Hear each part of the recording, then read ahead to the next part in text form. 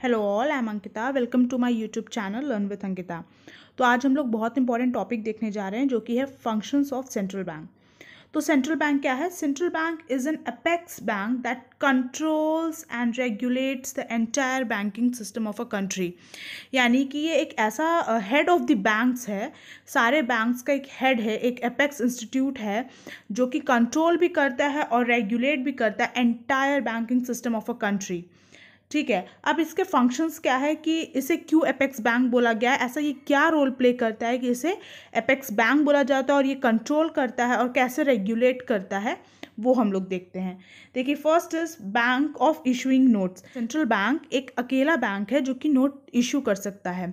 वो जितने भी आपके पास नोट्स होते हैं, वो सारे कौन इशू करता है? वो सेंट्रल बैंक करती है except coins and one rupee note. ये जो होती है, ये मिनिस्ट्री ऑफ़ फाइनेंस इशू करती है, लेकिन बाकी जितने भी हाई डिनोमिनेशंस नोट है या फिर नोट्स हैं, वो वो सारे सेंट्रल बैंक इशू करती है। Now banker to the government central bank is a banker agent and financial adviser to the government यानी कि ये एक बैंकर भी बन जाता है गवर्नमेंट के लिए एजेंट भी बन जाता है कि जब सिक्योरिटी सेल या परचेज करनी होती है तो वो तब एजेंट का काम करता है। फिनेंशियल एडवाइज़र यानी कि कहाँ पे पैसा लगाना है, कहाँ से फ्रूटफुल रिटर्न मिलेगा, वो सारे कौन एडवाइस करता है, वो सेंट्रल बैंक एडवाइस करता है गवर्नमेंट को। तो गवर्नमेंट के बिहाफ पे पेमेंट लेना पेमेंट देना मनी एक्सेप्ट करना, यानी कि मनी का पेमेंट करना, वो सब कौन करता है? सेंट्रल बैंक करता है गवर्नमेंट के लिए। Now next is custodian of foreign currency इसमें क्या है the central bank maintains a minimum reserve of international currency all the time in order to meet emergency requirements of foreign exchange यानी कि central bank हमेशा foreign currency हम अपने पास as a reserve रखता है मिनिमम रिज़र्व ताकि जब deficit होता है बैलेंस ऑफ़ पेमेंट में डेफिसिट यानी कि जब हम इम्पोर्ट ज़्यादा कर लेते हैं, यानी कि पेमेंट बाहर ज़्यादा हो जाती है तो हमारे पास से फॉरेन जो रिज़र्व होता है, वो कम हो जाता है और balance of payment deficit show करने लगता है. तो उस केस में उसे मेंटेन करने के लिए जब आरबीआई के पास जो फॉरेन करेंसी होती है, वो मिनिमम रिक्वायरमेंट फुलफ़िल करती है बैलेंस ऑफ़ डेफिसिट को बैलेंस ऑफ़ पेमेंट में डेफिसिट को मेंटेन करने में। यानी कि सेंट्रल बैंक हमेशा एक मिनिमम रिज़र्व बना के चलती है फॉरेन करेंसीज़ की लाइक डॉलर हो गया दिनार हो गया पाउंड हो गया, इनकी एक मिनिमम रिज़र्व रखता है अपने पास। Now lender of to of last resort कोई भी क्राइ कोई भी क्राइसिस हो पैनिक हो, किसी भी तरह का फंड शॉर्टेज हो तो बैंक क्या करता है? बैंक सेंट्रल बैंक बैंक्स को फंड प्रोवाइड करता है ताकि वो उस क्राइसिस से निकल सके। Bankers to bank banks are required to maintain a portion of their total deposits as reserve at the central bank. Banks को ये करना होता है जो कमर्शियल बैंक्स होते हैं उनको अपने टोटल डिपॉजिट्स का एक पोर्शन सेंट्रल बैंक के पास रखना पड़ता है। जिससे क्या होता है कि वो सेंट्रल बैंक मनी सप्लाई को कंट्रोल कर सकता है मार्केट में। कैसे? आ, वो हम लोग आगे देखेंगे। आ, सबसे नीचे वाले पॉइंट में हमारे इसी पॉइंट को एलेबोरेट करके समझाया गया है।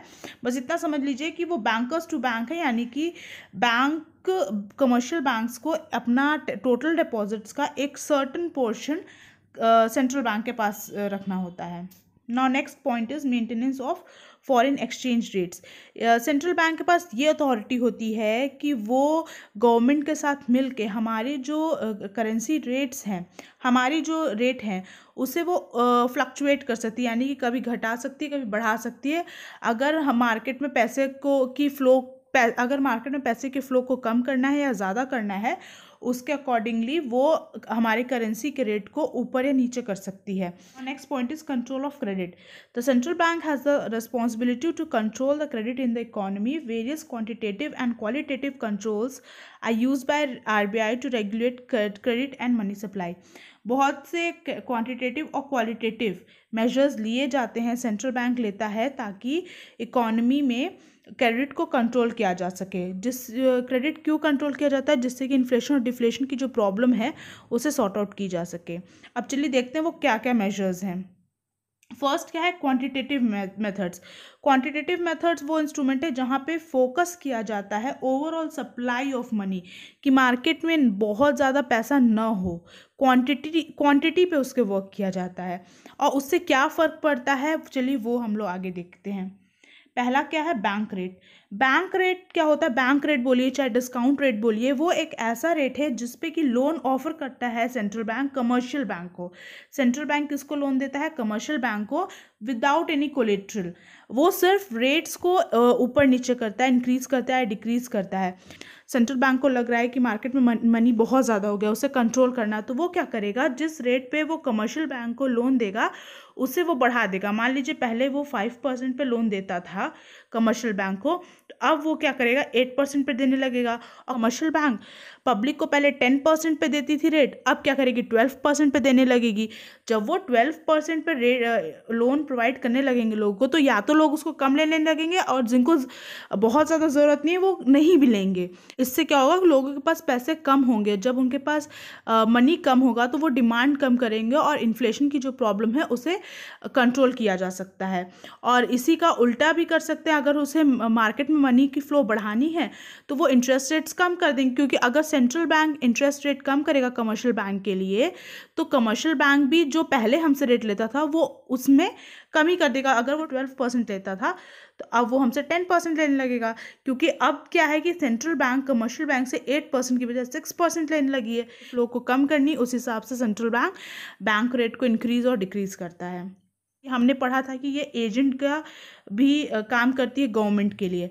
तो ओपन मार्केट ऑपरेशन में क्या होता है, जो sale and purchase of securities होती है, वो कौन करता है? सेंट्रल बैंक करती है। किसके बिहाफ पे करती है? गवर्नमेंट के बिहाफ पे। आपने अक्सर देखा होगा कि बहुत सी स्कीम्स आती है कि नेशनल सेविंग सर्टिफिकेट ले लीजिए गवर्नमेंट ने इशू किया है वो कुछ ड्यूरेशन के लिए होता है, जिस पे आपको बेनिफिट्स मिलते हैं, या हाई रेट ऑफ़ इंटरेस्ट बाद में रिटर्न में मिलेगा आपको ऑफ़र देके आपको अट्रैक्ट करते हैं, जिससे कि आप वो ख़रीदते हैं। जब आप वो ख़रीदेंगे, आप किसी सर्टिफिकेट किसी बॉन्ड किसी सिक्योरिटीज़ में पैसा लगाएँगे तो आपका पैसा तो गवर्नमेंट के पास चला गया। आपको बदले में एक सर्टिफिकेट मिला एज अ प्रूफ तो आपके पास से पैसा गया, यानी कि आपके पास से परचेजिंग पावर कम हो गई। इससे क्या है कि गवर्नमेंट और आरबीआई ने मिलकर आपकी परचेजिंग पावर छीन ली, जिससे कि इन्फ्लेशन पे वो कंट्रोल कर सकती है। क्योंकि अब आप कम डिमांड करोगे तो इन्फ्लेशन पे कंट्रोल किया जा सकता है।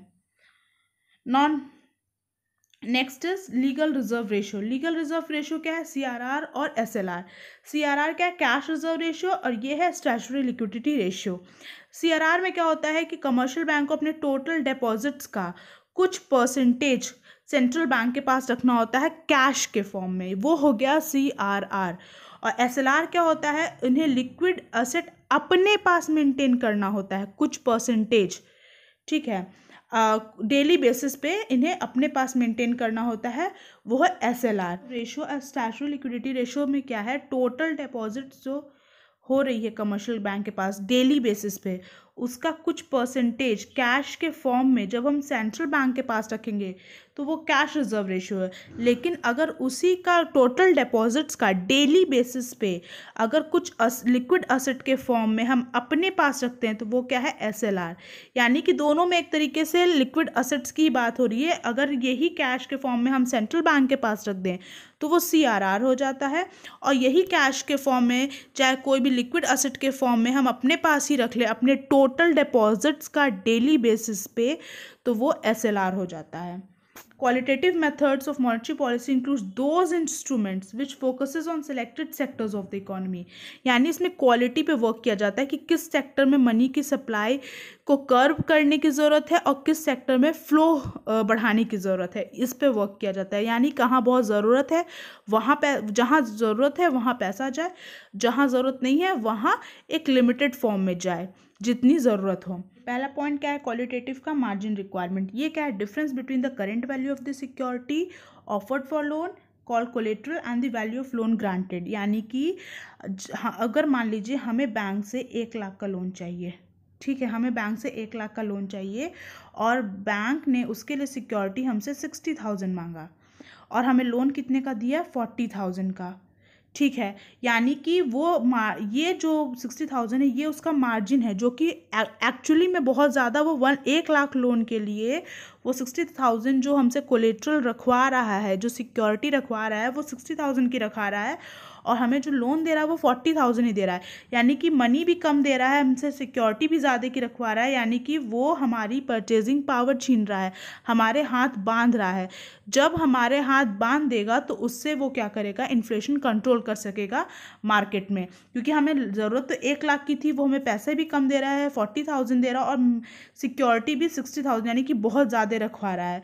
उससे क्या है? हमारे हाथ बन जाते हैं, जिससे कि इन्फ्लेशन कंट्रोल किया जा सकता है क्वालिटेटिव मेथड के through now next point is rationing of credit इसमें बिज़नेस एक्टिविटीज़ में क्रेडिट कोटा फिक्स कर देती है कि किस बिज़नेस एक्टिविटी में पैसे का फ्लो ज़्यादा होना चाहिए किसमें कम होना चाहिए या कितने पैसों के अंदर कितने मनी के थ्रू उन्हें अपना एक्टिविटी uh, करना है ये एक अमाउंट uh, तय कर देती है। तो वो क्या होता है? राशनिंग ऑफ़ क्रेडिट जिसमें क्या है कि आ, कोई भी बिज़नेस एक्टिविटी में बहुत ज़्यादा पैसा नहीं जाता है।